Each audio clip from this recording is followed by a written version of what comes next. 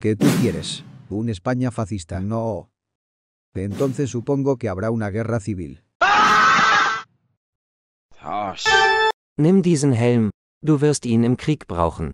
Товарищ, это тебе понадобится для войны, не подведи меня. Three, two, one.